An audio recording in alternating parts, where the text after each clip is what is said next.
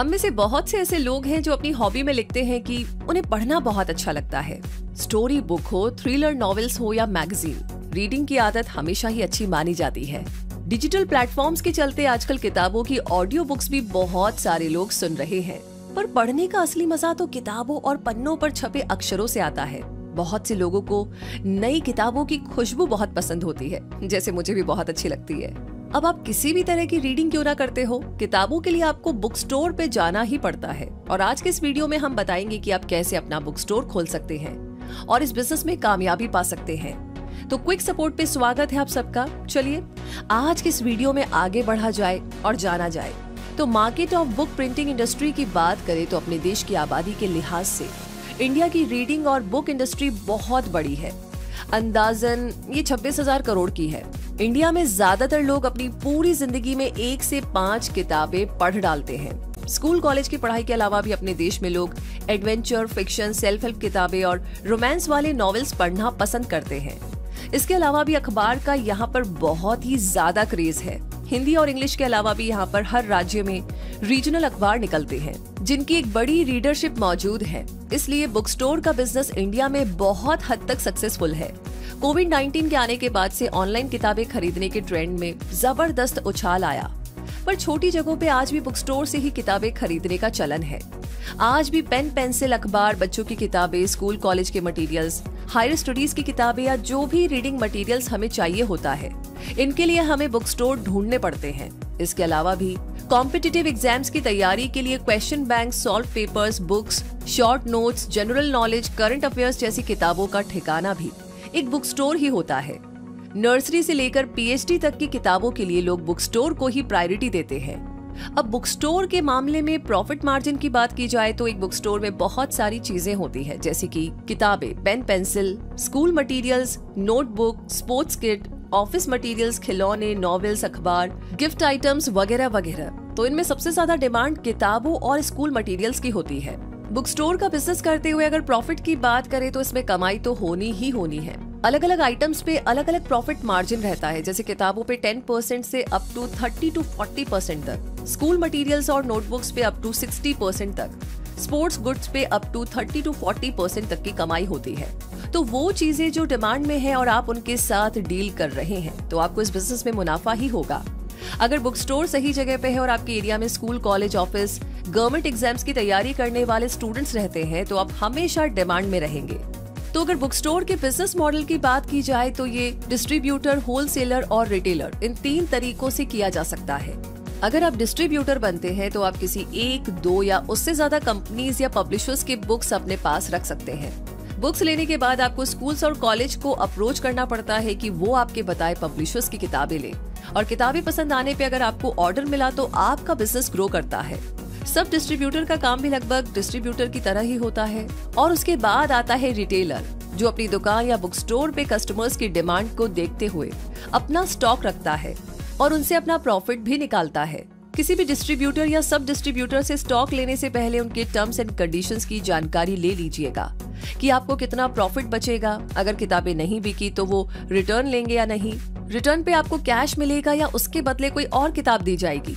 Target achieve करने पे आपको क्या बेनिफिट्स मिलेंगे? और कोई टूर पैकेज गिफ्ट या मॉनिटरी फ़ायदा भी होगा या नहीं? अवार्ड दिए जाएँगे या नहीं? ऐसी बहुत सारी बातें। तो किसी भी डिस्ट्रीब्यूटर से उनकी मर्ज़ी के मुताबिक स्टॉक मत लीजिए। अपनी फाइनेंशियल कैपेसिटी मार्केट में डिमांड और गोदाम की कैपेसिटी के हिसाब से ही बुक का स्टॉक ऑर्डर करें। ताकि आप पे अननेसेसरी बर्डन ना आए और आप बिना हेडेक के बिज़नेस कर सके। आप किस राज्य में है, किस एरिया में है और आपके वहाँ कौन से स्कूल है, कौन से बोर्ड से पढ़ाई की सुविधा है? उसी लिहाज से आपको अपना पब्लिशर या डिस्ट्रीब्यूटर को चुनना होगा, जो हिंदी इंग्लिश या रीजनल लैंग्वेजेस में हो सकते हैं। वैसे ये सब जानने के बाद अब बारी आती है इन्वेस्टमेंट की। तो किसी भी बिज़नेस की सबसे बड़ी रिक्वायरमेंट होती है पूंजी यानी कि बिज़नेस कैपिटल अगर स्मॉल स्केल पे आप बुक स्टोर का बिज़नेस करना चाहते हैं तो तीन से पाँच लाख की लागत से इजीली शुरुआत की जा सकती है। पर सबसे ज़्यादा पैसे लगते हैं किताबों का स्टॉक मेंटेन करने में। आप अपने पास स्टॉक अपनी फाइनेंशियल कैपेसिटी और मार्केट की डिमांड के लिहाज से कर सकते हैं, जो 10 से 50 लाख या उससे भी ज़्यादा तक पहुँच सकता है। इसकी कोई लिमिट नहीं है। इसके अलावा भी दुकानें बनवाने, दुकान का किराया लाइसेंस जीएसटी स्टाफ की सैलरी सामान मंगवाने, गोदाम का किराया मेंटेनेंस बिलिंग सिस्टम जैसी चीज़ों पे भी खर्चा आता है। इन पे भी आपका खर्चा आपकी इन्वेस्टमेंट के हिसाब से ही आएगा। जितना बड़ा बिज़नेस उतना ज़्यादा इन्वेस्टमेंट वैसे अगर लाइसेंस की बात की जाए तो आपको अपना बिज़नेस रजिस्ट्रेशन लेना पड़ता है। किन के नाम से बिज़नेस शुरू हो रहा है। इसके बाद ट्रेड लाइसेंस आपको अपनी लोकल अथॉरिटी नगर निगम या पंचायत ऑफ़िस से निकलवाना पड़ता है, जिसका ज़्यादा खर्चा नहीं है। किताबों पे या किसी भी तरह की प्रिंटेड बुक्स पे जीएसटी नहीं लगता है, इसलिए आप अपने कस्टमर से जीएसटी चार्ज नहीं कर सकते। या आप खुद कस्टमर है तो आपको जीएसटी नहीं देनी चाहिए, इस बात का ध्यान रखें। पर बिज़नेस करते समय अगर आपका बिज़नेस 20 लाख के ईयरली टर्नओवर को पहुँच जाता है तो जीएसटी की ज़रूरत पड़ती है। बाकी आप टैक्स देने के हिसाब से आईटीआर फ़ाइल कर सकते हैं। वैसे बुक स्टोर के स्ट्रक्चर के बारे में अगर आपने कुछ सोचा है तो चलिए, ये भी डिस्कस कर लेते हैं। बुक स्टोर बनवाते समय आपको कुछ चीज़ों का ध्यान रखना होगा कि आपकी लोकेशन ऐसी होनी चाहिए, जहाँ से आप अपने कस्टमर के लिए इजीली एक्सेसिबल हो सके। इसलिए छोटे एरिया के मार्केट में कोशिश करें कि बस स्टैंड मेन रोड या किसी मार्केट कॉम्प्लेक्स में अपनी दुकान ली जाए, जहाँ आते जाते लोगों की नज़र में आप आसानी से आ जाएँ। अगर किसी बड़े शहर की बात करें तो स्कूल कॉलेज के सामने मेन मार्केट में वहाँ जहाँ ढेर सारी किताबों की दुकानें हैं, आप आसानी से दुकान खोल सकते हैं। बुक स्टोर का स्ट्रक्चर भी ऐसा होना चाहिए जहाँ किताबों को आसानी से रखा जा सके।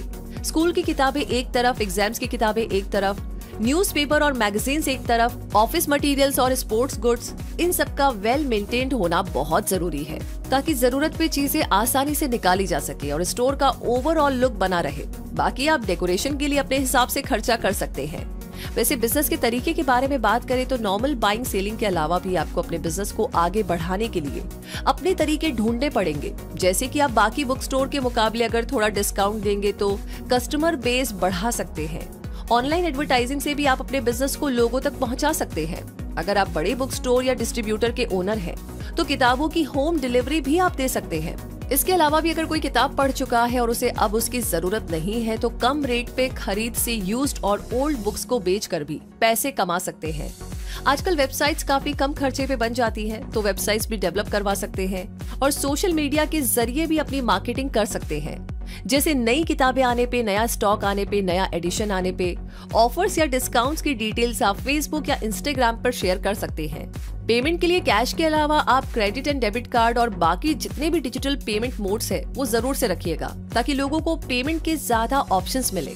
ज़रूरत के हिसाब से खुद को हमेशा तैयार और अपडेटेड रखिए। इससे आपको बहुत सारा फ़ायदा होगा। अगर आपके आसपास ट्यूशन का कल्चर है तो ट्यूशन पढ़ाने वाले टीचर्स से आपका रिलेशन आपको बिज़नेस ग्रोथ इस तरह दे सकता है कि टीचर अपने स्टूडेंट्स को आपके स्टोर पे बतौर कस्टमर डाइवर्ट करके और आप टीचर से थोड़ी प्रॉफिट शेयर कर सकते हैं। आगे फ्रेंचाइजी बिज़नेस की बात करें तो लोगों में किताबें पढ़ने की दीवानगी कभी खत्म नहीं होगी। इसलिए आपको हर बड़े शहर में कोई ना कोई पॉपुलर किताब की दुकान तो मिल ही जाएगी, जहाँ पर किताबों का कलेक्शन देख के दिल खुश हो जाता है। ऐसा ही एक नाम है क्रॉसवर्ड और इनके स्टोर देश भर के लगभग सभी शहरों में मिल जाएँगे। तो अगर ऐसे पॉपुलर बुक स्टोर का फ्रेंचाइजी मॉडल अवेलेबल है तो आप इंक्वायरी करके अपने शहर में भी फ्रेंचाइजी ले सकते हैं। क्रॉसवर्ड की वेबसाइट पे फ्रेंचाइजी इंक्वायरी का ऑप्शन है। आप अगर इंटरेस्टेड है तो वहाँ से सारी जानकारी जुटा सकते हैं।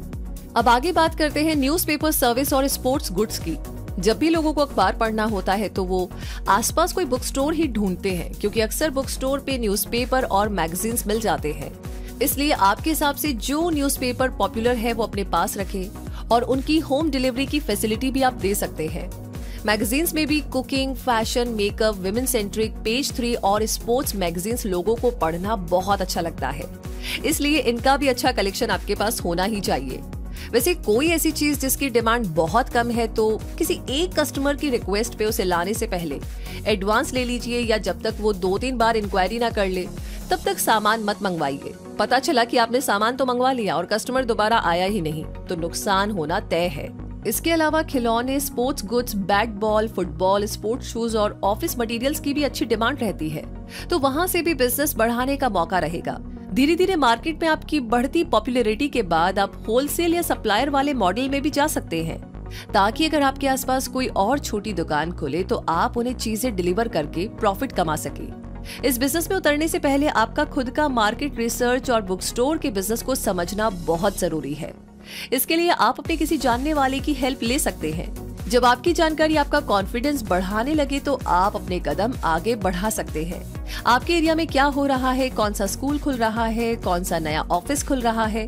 इन सब की जानकारी आपको होनी चाहिए, ताकि आप आगे बढ़ सके, उन्हें अप्रोच कर सके और उन्हें ये अश्योरेंस दे सके कि उन्हें आपसे सामान और आपकी सर्विस क्यों लेनी चाहिए। याद रखिए कि बिज़नेस आपके स्टॉक से नहीं, आपके बनाए रिलेशनशिप से चलती है। तो उम्मीद करते हैं दोस्तों, इस केस स्टडी वीडियो से आपको बुक स्टोर खोलने के लिए सारी ज़रूरी जानकारियाँ मिल गई होंगी। ये जानकारी, ये वीडियो कैसा लगा कमेंट बॉक्स में लिख करके ज़रूर शेयर कीजिएगा। साथ ही साथ अगर और भी कोई टॉपिक है जिस पर आप वीडियो देखना चाहते हैं तो प्लीज़ वो आप हमें लिख भेजिए। मिलेंगे बहुत जल्दी ही, तब तक के लिए सब्सक्राइब करके बेलाइकन को प्रेस कर लीजिए ताकि कोई भी जानकारी कभी भी आप मिस ना करें। रूबी आपसे मिलेगी अगली जानकारी अगले वीडियो के साथ। अभी के लिए कहूँगी आपसे धन्यवाद।